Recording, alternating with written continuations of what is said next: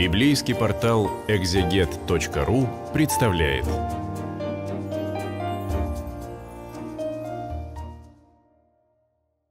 Первая глава книги «Премудрости Соломона». Я читаю синодальный перевод для библейского портала «Экзегет». Ну и поскольку мы начинаем новую книгу, нужно сказать о ней несколько слов. Здесь предисловие будет очень кратким. Ну, эта книга совершенно точно «Премудрости» и совершенно точно не Соломона. Э, почему я так в этом уверен? Это не каноническая книга Ветхого Завета, то есть она не входит, строго говоря, в библейский канон, но в православной, а заодно и в католической традиции присутствует в изданиях Библии как такая вот пограничная книга, все, что у нас не канон, это все Писание, но не совсем. И э, в качестве такой, конечно, она, нас совершенно это не должно смущать, может э, содержать скорее ну, некоторый опыт прочтения канонических библейских книг последующими поколениями, вот про нее это абсолютно точно. Почему я уверен, что автор не Соломон? Книга написана на древнегреческом. А еврейского оригинала не только нет, в некоторых местах невозможно представить себе, как это сказать по древнееврейский. Ну а царь Соломон жил в те времена, когда литературный греческий язык еще даже не сложился. Поэтому, э, конечно, он писать по-гречески не мог.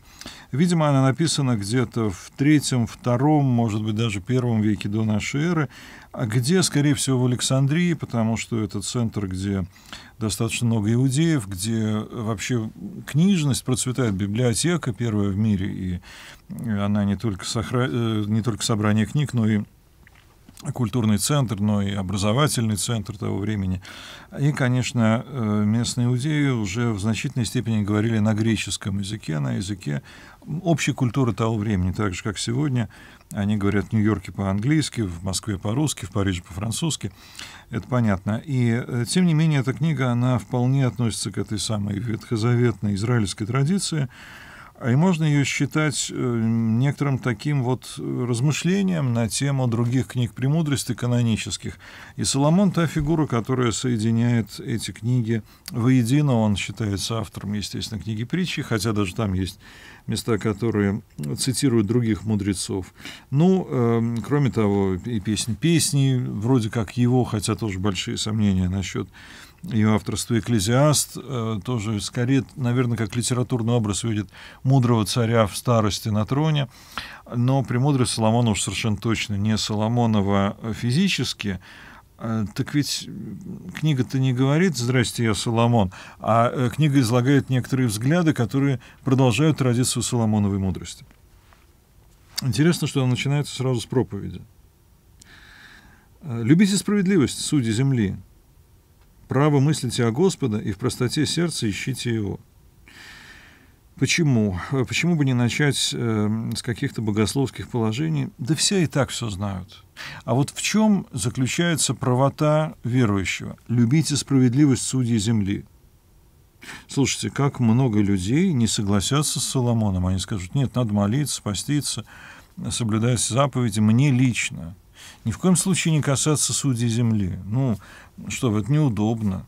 Это как-то неприлично их обзывать несправедливыми. А то, знаете, они обидятся и меня осудить могут. С этого начинается книга. То есть пока нет социальной справедливости, все остальные разговоры о Боге — это пустословие, потому что если э, нищий, бедный, угнетенный не получает справедливости, на чем вообще дальше говорить? Тогда мы живем просто, ну, как звери в лесу, да, то есть э, кто посильнее ест того, кто послабее. Право мыслить о Господе на втором месте. Почему не на первом? Право мыслить о Господе, и потому любите справедливость. Да, видимо, потому что э, какие-то очевидные, очевидные нарушения э, Господних заповедей, они отсекают человека и от восприятия Бога. И пока он любит несправедливость, он не может право мыслить о Господе, он неизбежно будет оправдывать Богом свою несправедливость. И в простоте сердца ищите его в самом конце. Странно.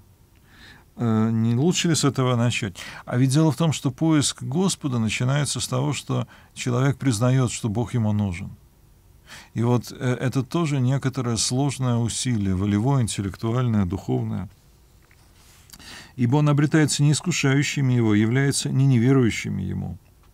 Не искушающие, не неверующие. Э, то есть те, кто пытаются испытать, проверь. О, знаете, такой трюк иногда можно прочитать в литературе. Бог, если ты есть, сделай то-то и то-то. такая служба по вызову, да, как пиццу заказать, является не неверующим ему. То есть э, зачем ему убеждать тем, кто не, тех, кто не верит? Хочется, конечно, чтобы вот он явился и прямо сейчас навел порядок у нас, убедил всех, кто в него не верит. Ну, такая воспиталка в детском саду пришла, всех расставила по углам, там всем раздала конфеток, уложила спать, все хорошо. Взрослые мы. Ибо неправые умствования отдаляют от Бога, испытание силы Его обличит безумных. Неправые умствования отдаляют от Бога, я думаю, понятно, испытание силы Его обличит безумных. Уже гораздо менее понятно. То есть, очевидно, когда человек пытается проверить, действительно ли Бог силен, э, то он может и проверить, но в результате ему это может сильно не понравиться. В лукавую душу не войдет премудрость и не будет обитать в теле, порабощенном греху. Но здесь, видимо, душа и тело — это совокупность человека, да, то есть нельзя сказать, что только душа, а там только тело. Значит, лукавство и греховность — то, что препятствует человеку принять в себя Бога. Ибо Святой Дух премудрости удалится от лукавства уклонится от неразумных умствований, устыдится приближающейся неправды. То есть ровно противоположное. Не воспиталка к нам придет, порядок наведет, а не придет к нам Дед Мороз, если мы себя плохо ведем. Да, вот не надо рассчитывать на то, что Бог придет и всем все даст а, и э, все сделает, когда мы живем в этом духе лукавства, э, неразумные умствования, да, такая интересная, как горячий снег фигура речи, оксюморон называется, как же могут быть умствования неразумными, а вот могут. И устыдиться приближающиеся неправда, только даже приближающиеся, даже еще не состоявшиеся, а всего лишь когда человек, а ведь нередко бывает, призывает Бога в оправдание неправды. Человеколюбивый дух – премудрость но не оставит безнаказанным богохульствующего устами. То есть премудрость здесь понимается как некий дух, который исходит от Бога. Не как качество Бога или человека, а такое абстрактное понятие, красота, премудрость или там э, что-нибудь еще, здоровье. Да? А это, вот это конкретный дух, который исходит от Бога и который может человека наказать, потому что Бог есть свидетель внутренних чувств его, истинный зритель сердца его и слышатель языка его. Даже то, что ты лишь чувствуешь, он знает. Дух Господа наполняет Вселенную, и как всеобъемлющий знает всякое слово. Потому никто, говорящий неправду, не утаится и не минит его обличающий суд. Ибо будет испытание помыслов нечестивого, и слова его взойдут Господу в обличении беззакония его. Даже помысла. Да, вот э, эта триада, которую часто можно услышать, дело, слово и помышление. Да, чем человек согрешает? Ну, дело это все видят, и результат часто видят. Слово кто-то слышит, а помышление это никто не знает, но Бог знает и это. И вот здесь уже эта триада присутствует, что даже за помышление, и тем более за слово, человек предстанет на суде. Ибо будет испытание помыслов нечестивого, и слова его взойдут Господу в обличение беззакония его, потому что ухо ревности слышит все, и ропот не скроется. Ухо ревности, то есть, ну, можно себе представить такого ревнивого мужа, который тщательно прислушивается к любому шороху, да, там жена с кем-то любезничает. И, э, конечно, это не совсем то же самое, но, э, скажем так, слух, который готов услышать э, то, чего другие не слышат. Ну, единственное, что не нафантазировать, как, наверное, с ревнивцем бывает, а по-настоящему услышать. Итак, хранитесь от бесполезного ропота, в смысле против Бога, и берегитесь от злоречия языка, ибо и тайное слово не пройдет даром, а клевещущие уста убивают душу. Понятно, что клевета может убивать другого, но, кажется, и самого клеветника тоже. Не ускоряйте смерти заблуждениями вашей жизни, не привлекайте к себе погибели делами рук ваших. Здоровый образ жизни, да, занимайтесь спортом, питанием, нужно правильные регулярные медосмотры.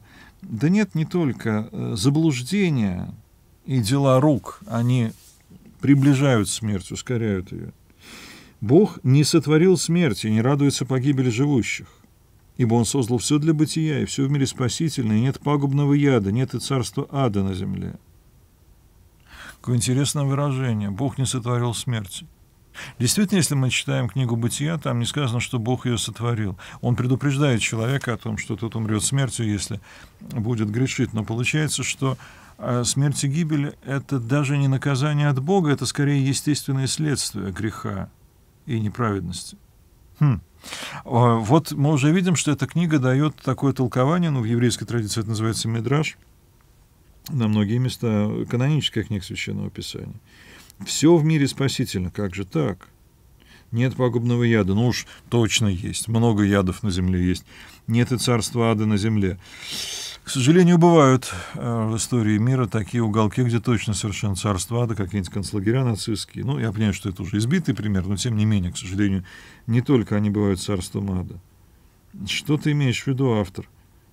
Ну, давайте будем читать дальше, может быть, даже не в этой главе мы поймем эту мысль «все в мире спасительное, нет пагубного яда», когда мы наблюдаем противоположное, прямо противоположное.